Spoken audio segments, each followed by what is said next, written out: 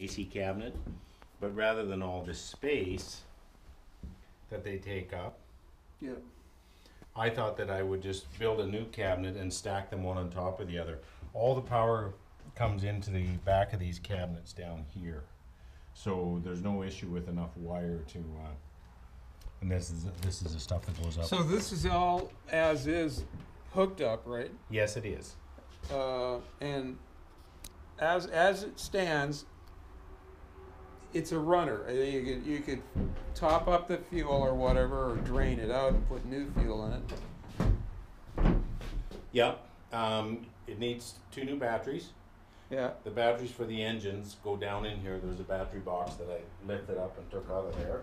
But the, the two engine batteries go down into here and they hook up, of course, separately from the, uh, from the, um, from the, uh, uh,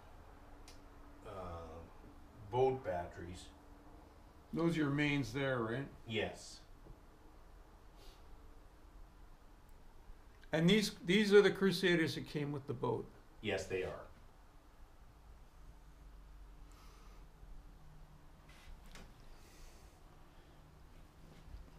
Yeah, well, I guess as far as you know, getting as much space as possible, you've done that, right? Because you remedi took all this out. Now it's it's open Yep. to finish, however. Well, that's the thing, and I, you know, and uh, um, I, my sort of intention was not even to to build permanent structures in here, bu- uh, you know, bunks or uh, tables or anything. You just want to make a nice open lounge back there, right? Exactly, because because there is the floor space to do that. So, you know, I figured that we could put uh, this would be an, an ideal place to put a dinette, uh, freestanding, and back here, you know, you could just make this a seating area with, uh, you know, with a couple of leather chairs or some leather chairs and footstools, and um, you know, I was gonna put a TV over in that corner. Uh, above where the power is, and, and then with the galley down here, it would be down here out of the way, and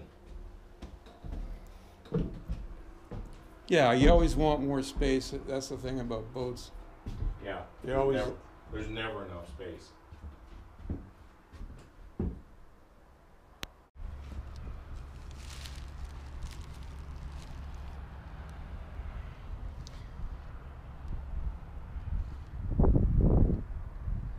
Yeah, you'd think with the amount of snow and rain and everything that we got this year that there'd be a lot more corrosion or whatever, but it looks like it survived pretty good. You I guess because you had the tarp on it before. Yeah, I had it. Uh, I um, I had a, a structure built for it, but Yeah. the the PVC was starting to break down and and it got brittle, and then it started. These are the factory doors, right? Yeah, they're kind of uh, they're covered with sort of arborite. They're very heavy.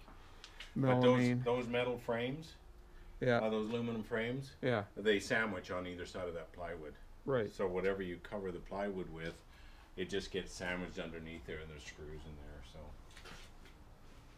yeah. And uh, And this is your, fridge fridge for it is in there. This, yeah, this is the frame for the top. this is the frame for the, for the flybridge. Yeah. And then the fabric for that, you say is stowed away somewhere. It's in the basement. Yep. Oh, okay. Not in here. No, and it's not in here. No. Molly, you stay up there.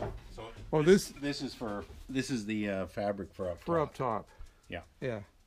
And they use it as chairs. Yeah. Yeah.